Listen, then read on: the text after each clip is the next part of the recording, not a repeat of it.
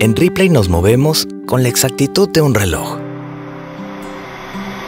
Porque para que tu pedido llegue en 24 horas, en cada caja viajamos todos. En ripley.com.pe cumplimos con nuestro compromiso contigo. Y si te decimos 24 horas, tu pedido llega en 24 horas. Ripley 24 horas. Tiempo real, tiempo Ripley. Anoche en Combaters, Judy, son 18.400, perdón, sí, 18.400 dólares. Eh, Anoche en Combater, Judy Rodríguez hizo una extraordinaria entrevista al abogado de Samir Villaverde, el doctor Julio Rodríguez, en la que usted va a poder comprobar, confirmar. Le pedimos que la siga con mucha atención, cómo eh, efectivamente el señor Samir Villaverde tiene pruebas, tiene audios, tiene también videos. Señala el doctor Julio Rodríguez que incluso el señor Samir Villaverde sabe que Bruno Pacheco igualmente grababa conversaciones o filmaba también algunos episodios dentro de Palacio de Gobierno. Realmente muy reveladora la entrevista y los, les invitamos a cada uno de ustedes a seguirla con mucha atención. Rodríguez, ¿su patrocinado es un fanfarrón, como dice Benji Espinosa? Muy buenas noches, Judy. Un placer estar acá contigo. Bueno, no, yo creo que en determinadas circunstancias lo que no hay que perder es la perspectiva correcta. La versión del señor Villaverde es su versión y que está obviamente sometida a una validación en tanto y en cuanto el Ministerio Público comience a recoger todo lo que él está señalando y lo tome como parte de sus declaraciones. Es, es definitivamente eh, lo que hace cualquier investigado, es eh, manifestar lo que conoce y en virtud de eso después tomar una decisión de cuál va a ser finalmente la estrategia de defensa que se va a seguir. Ahora, Samir Villaverde en la Comisión de Fiscalización del Congreso recibió las críticas de los congresistas incómodos y en cierto modo es entendible que la ciudadanía y la comisión tengan expectativas por la evidencia que pueda presentar Samir Villaverde por la gravedad de los dichos, ¿no es cierto? Ahora, él ha sido citado por Fiscalía de Lavado de Activos por la fiscal Luz Taquire, así se ha informado en todos los medios de comunicación. Eh, no, eh, yo, eh, como lo mencioné públicamente recién, eh, esta semana me he acreditado como abogado en el caso de lavado de activos y hasta el momento la, la defensa que tenemos eh, con el señor este, Villaverde no nos han notificado que haya llegado eh, la citación para el día de hoy. Por lo tanto, ustedes no han pedido reprogramación. Eh, en la Porque eso es lo que se ha informado. En la medida que no, se, no llegue la notificación es que no podemos... No pueden solicitar evidentemente Correcto. la reprogramación. Ahora, ¿ya hay un proceso de colaboración eficaz en la Fiscalía de Carla Cesenarro?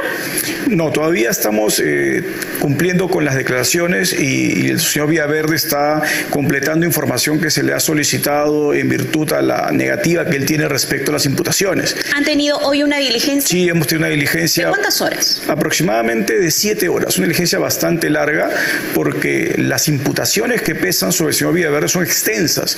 Estamos hablando ¿Cómo de que, el Ministerio Público le atribuye ser, por ejemplo, el nexo para empresarios y captarlos para las obras, en este caso Puente Tarata 3, el haber eh, intervenido conjuntamente con los sobrinos del presidente para seguir buscando a estos empresarios y asegurarles un éxito en la contratación. Además, se le atribuye ser el nexo con el ministro eh, de aquel entonces de Transporte para Juan que Silva. así es para que la obra finalmente se, se entregue a quienes ellos esperaban eh, que sea así.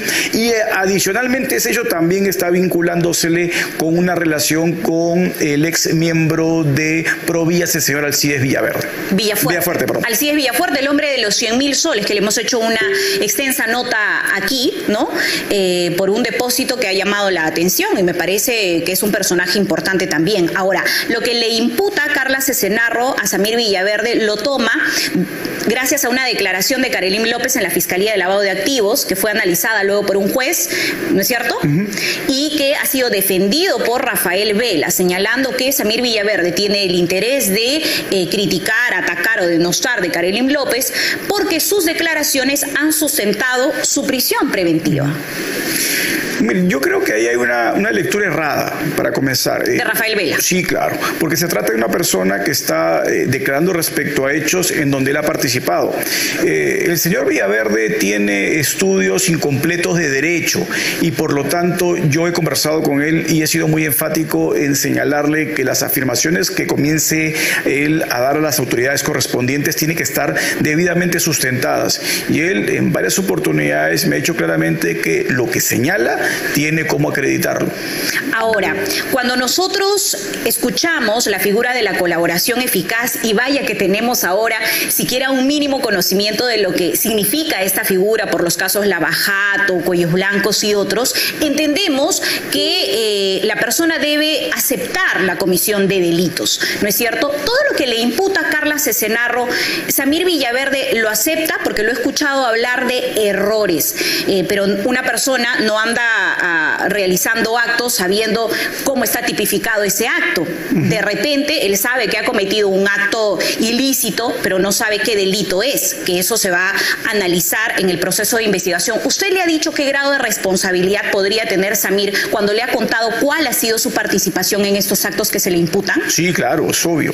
Lo que ¿Cuáles serían estos? Inmediatamente ahí se cumple un doble rol. El rol del Ministerio Público de expresarle los cargos que pesan sobre esta persona y al mismo tiempo el Ministerio Público corre traslado a la defensa para que la defensa le esclarezca al imputado cuáles son los cargos y los comprenda. ¿Y la, y la prognosis de la pena? Ah, evidentemente, porque estamos hablando de una prognosis de pena basada en la imputación sobre dos delitos. ¿Cuáles son? Eh, colusión desleal eh, en organización criminal y el delito de tráfico de influencias. Ya, y esos delitos unidos, ¿cuántos años eh, podría recibir el, el Ministerio Público está imputando estos delitos en concurso ideal. Entonces, esto significa que se aumenta un 25% de la pena al delito más grave que es colusión desleal. ¿Estamos hablando de cuántos años? Y por lo tanto, estamos hablando de una pena que podría llegar en el caso del señor Villaverde, si se le aumenta eso como, como rango máximo, estaríamos entre los 12 años aproximadamente, un poco menos, y los 19 eh, años.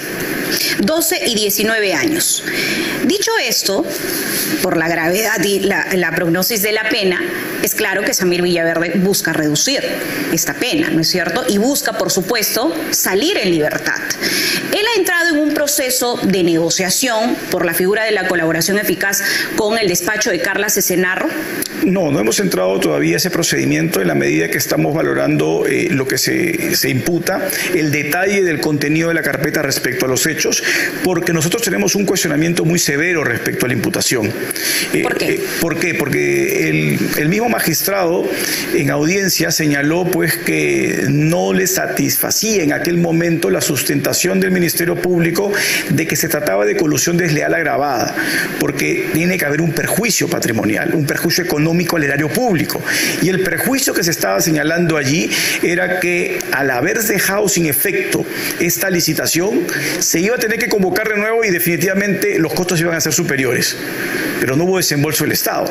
Y el perjuicio económico del que se habla es... Yo tengo entendido que la obra continúa. No, en ese momento se dejó sin efecto. No hubo desembolso del Estado. Y por lo tanto el, rol, el rol que se le atribuye al señor Villaverde en ese, en, ese, en ese preciso acto no ha generado una afectación patrimonial al erario público que se convoque otra vez a esta licitación y se entregue la buena pro, eso ya no tiene nada que ver con la actuación del señor Villaverde. Y por lo tanto que esta nueva adjudicación tenga un costo superior por una serie de razones, entre ellos, por ejemplo, el hace los costos en este país, no se le puede atribuir al imputado. O la denuncia pública que se hizo en su momento. Correcto, y por eso nosotros estamos ahí discutiendo de que eventualmente no estaríamos ante una colusión desleal agravada, sino más bien ante una simple, y por lo tanto el rango de pena sería mucho menor pero no descarta cogérsela a este proceso. A ver, es que esas son las posibilidades que él tiene. Habría que ser bastante, no solo ingenuo, sino bastante irresponsable de no comunicarle a una persona con una gravedad de cargos, de cargos de esta naturaleza cuáles son sus escenarios posibles y cuáles son las ventajas que podría tener acogiéndose a una u otra modalidad de defensa. Bueno, es sencillo. Lo que usted me está diciendo es que conoce la gravedad de lo que se le imputa a Samir Villaverde y que en parte podría tener asidero y que las consecuencias en la pena privativa de su libertad también podrían ser graves. Por lo tanto, usted no descarta esta figura. Porque existen otras figuras que usted el último fin de semana le explicaba a, otra periodista, hablando de otras figuras que también podrían acogerse otro tipo de eh, personajes, ¿no? Eh, usted habló de eh, la conclusión anticipada, de la delación premiada, ¿no? ¿Cuál sería la mejor figura que calza con el grado de participación y gravedad de los hechos imputados a Samir Villaverde? Y, definitivamente no solo eso, sino que muchos de los hechos que él está narrando, creo yo que su participación es básicamente la de espectador y por lo tanto en alguno de ellos no podría tener la condición de imputado porque él no tiene la obligación de denunciar nada, él no es funcionario público. Allí podría A menos que haya jugado un papel de operador. Ah, claro, obviamente. Si, si él interviene delictivamente, tiene que asumir responsabilidad si es que se acoge una figura premiada. Pero de lo contrario, él podría acogerse a ser testigo protegido. Ahora, ah, Eso se va a ir definiendo conforme los hechos se vayan aclarando y se vayan identificando puntualmente. Ahora, usted ha mencionado que hoy se realiza, se ha realizado una diligencia. En esta diligencia, o ¿en qué ha consistido esta diligencia? Porque Samir Villaverde ha mencionado tres hechos. Caso policía, ascensos irregulares, el pago de coimas, ¿no? Eh, el caso del fraude y la participación de Vladimir Mesa también, y por supuesto lo mencionado en el caso Tarata. ¿En qué ha consistido esta diligencia? No, estamos circunscritos a Puente Tarata 3.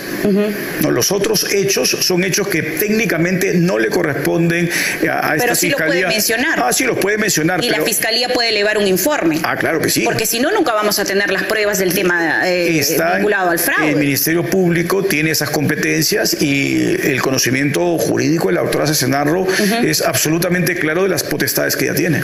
Ahora, eh, Samir Villaverde ha señalado que tiene evidencia. Esta evidencia sería eh, audiovisual. No, lo ha dicho claramente. Lo ha dicho claramente. Audios y videos. ¿Eso se ha entregado ya a la Fiscalía de Carla Cesenarro? No, porque no estamos en la etapa de recopilación de información respecto al fraude electoral. ¿Y solamente vinculado al fraude electoral tendría audios Samir Villaverde. Audios y videos que, ha hecho, que ha mencionado En el caso Puente Tarata. No me ha expresado que tenga audios y videos. Él dice que. ¿Y cómo podría probar entonces lo que ha venido señalando? Pero todo lo que ha venido señalando básicamente está vinculado eh, a lo que le dijo a la Comisión del Congreso es eh, básicamente elecciones, las elecciones fraudulentas. Al Congreso casi no le ha hablado nada al respecto de Puente Tarata. O sea, él estaría ah, o pretendería eximirse de algún grado de responsabilidad en el caso Puente Tarata, es lo que entiendo. Eso es lo que eso es lo que él va a tener que decidir al final de las declaraciones. Entonces, en su opinión como abogado, si la fiscalía no está viendo el caso fraude y Samir Villaverde tiene evidencia del caso fraude, ¿qué debería pasar? ¿Iniciarse una investigación de oficio en otra fiscalía? No, la, fiscalía todavía está eh, en la etapa de recopilación de información respecto al señor Villaverde. Concluida esta, porque aún no está concluida, la fiscalía podrá tomar las decisiones que corresponden y eso me refiero básicamente a separar los hechos. Si hay hechos en donde el señor Villaverde narra y cuenta y detalla información que no le competen funcionalmente conocer a la doctora Cesenarro, ella tiene pues obviamente funcionalmente eh, la posibilidad de elevar todo el informe al órgano competente que es Fiscalía de la Nación. Si Samir Villaverde entrega información, porque usted ha señalado que es espectador en el caso Puente Tarata, ¿cómo podría corroborarlo? ¿Con la participación o con la colaboración en la investigación de Bruno Pacheco? Por ejemplo. Por ejemplo. Pero Bruno Pacheco ha señalado que no va a colaborar y de hecho está inubicable. ¿Cómo podría probar lo que como espectador, según usted señala, Samir Villaverde está diciendo? Eh, mire, lo que pasa es que una persona no puede estar en esa condición de manera permanente. Ya la experiencia comienza a señalar que una persona se coloca a buen recaudo por un tiempo, pero yo creo que su máxima expectativa sería eventualmente tratar de cuestionar la decisión de la sala y tratar de llevarla a la Corte Suprema vía un recurso casatorio que, no le augurió mucha esperanza de que sea resuelto positivamente y ahí se va a acabar las expectativas de tener una medida menos lesiva a su libertad. Entonces, una persona escondida tanto tiempo no solo significa un desgaste emocional muy profundo, sino adicionalmente a ello es un desgaste económico, porque tiene que pagar para no ser ubicado. Entonces, tiene que tener una economía muy solvente. legal, ¿no? y una economía muy solvente, una entereza eh, psicológica muy fuerte para no ver a su familia, no ver a sus amigos, no estar en su casa, estar en condiciones totalmente difíciles. Yo este tipo de situaciones no les doy un, tiempo muy grande para que la persona vuelva a reflexionar y a tomar eh, definitivamente una actitud distinta con la justicia. En Replay nos movemos con la exactitud de un reloj. Porque para que tu pedido llegue en 24 horas, en cada caja viajamos todos. En replay.com.pe cumplimos con nuestro compromiso contigo. Y si te decimos 24 horas, tu pedido llega en 24 horas. Replay 24 horas. Tiempo real, tiempo replay.